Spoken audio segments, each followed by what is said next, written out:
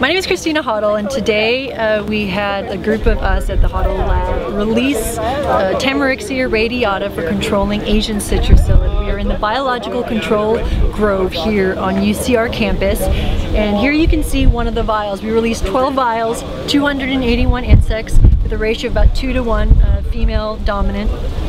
And in this vial we had about 20 to 30 um, Tamarixia and we tied them to the tree here today. Everybody got a chance to tie one vial and we let them go free.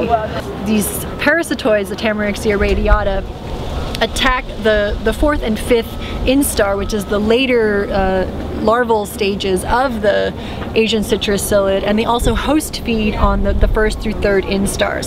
So our hope is that they will either host feed or parasitize the Asian citrus psyllid that is present in, um, in California right now. Okay, everyone ready? This is it.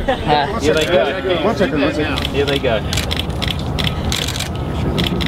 Here they go. Yep, they're taking off. Are they? Yep, we Oh, go. You have better eyes than Yeah, I I can see them. Yeah, they're flying away. So we, we brought these uh, parasitoids back from Pakistan. We've been rearing them in quarantine for the last uh, eight to nine months. Uh, we've had several generations of these and now we've released them here today. Our hope is that they do uh, attack the Asian citrus psyllid that is here in the biological control grove and we will have subsequent releases in other areas in Riverside and LA County to help control the Asian citrus psyllid.